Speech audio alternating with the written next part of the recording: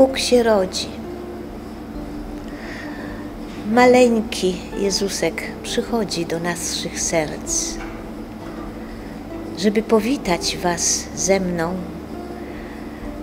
drodzy winogradzianie, przyjaciele. Pragnę, by Wasze rodziny przyjęły Go, bo wyciąga rączęta, pragnie przytulenia do serca. Te święta Bożego Narodzenia to są najsubtelniejsze, najdelikatniejsze święta. Tak cudowne, bo rodzi się nowe. I pragnę, byśmy wszyscy, my tu na winogradach i nie tylko, bo być może również u Was goszczą domach bliscy, jacyś przyjaźni ludzie. Tego Wam życzę i sama sobie, byśmy z radością przyjęli to najpiękniejsze święto w naszych sercach. Oprócz tego chciałabym, żeby życzeniem był dla Was, kochani, mój wiersz.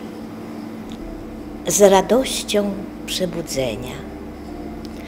Co z życiem potrafisz zrobić?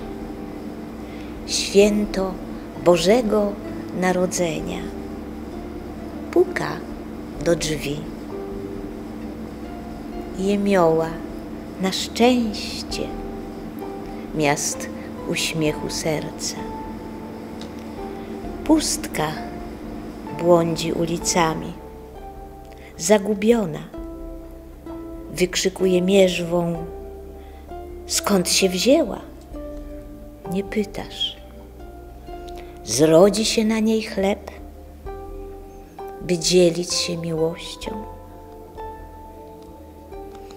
Opłatek pod osłoną maski, na ustach tęsknoty za Tobą, Jezu malusieńki, przybądź z nadzieją przebudzenia.